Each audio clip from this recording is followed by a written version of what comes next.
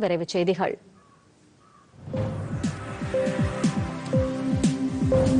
பத்திரிகையாளர் நல வாரியத்தின் இரண்டாவது கூட்டம் மாநில செய்தித்துறை அமைச்சர் மு. பே. சாமிநாதன் தலைமையில் சென்னை தலைமைச் செயலகத்தில் நேற்று நடைபெற்றது.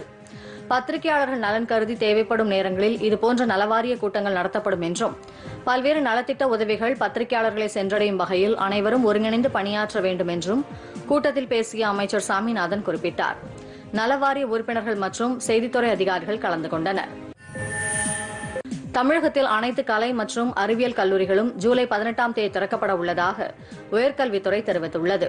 பன்னிரெண்டாம் வகுப்பு பொதுத் தேர்வு முடிவுகளுக்கு பிறகு தற்போது அனைத்து கல்லூரிகளிலும் முதலாம் ஆண்டு மாணவர் சேர்க்கை நடைபெற்று வருகிறது. சிபிஎஸ்இ மாணவர்களின் பனிரெண்டாம் வகுப்பு தேர்வு முடிவுகளுக்கு பிறகு மாணவர்கள் கல்லூரிகளில் தங்களது விண்ணப்பங்களை பதிவு செய்ய ஜூலை ஏழாம் தேதி வரை உயர்கல்வித்துறை அவகாசம் அளித்துள்ளது.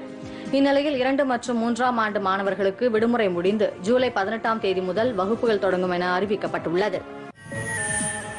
மகாராஷ்டிர மாநிலத்தில் ஆளும் சிவசேனா கூட்டணி அரசுக்கு எதிராக நாற்பதற்கும் மேற்பட்ட சட்டமன்ற உறுப்பினர்கள் தனி அணியாக செயல்படும் நிலையில் எதிர்க்கட்சித் தலைவர் தேவேந்திர பட்னாவிஸ் நேற்று இரவு ஆளுநர் பகத்சிங் கோஷியாரியை சந்தித்து பேசினார்.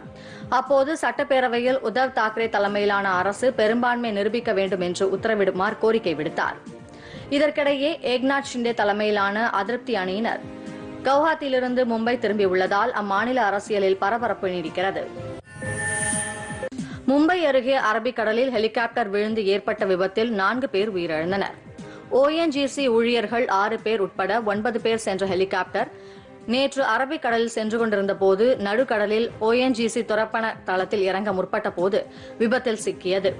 தொழில்நுட்ப கோளாறு காரணமாக கடலில் விழுந்ததாக தெரிகிறது. உடனடியாக இந்திய கடலோர காவல் படையினர் செயல்பட்டு தத்தளித்தவர்களை மீட்டனர். என்றாலும் மருத்துவமனையில் அனுமதிக்கப்பட்ட ஒன்பது பேரில் நான்கு பேர் சிகிச்சை பலனின்றி உயிரிழந்தனர்.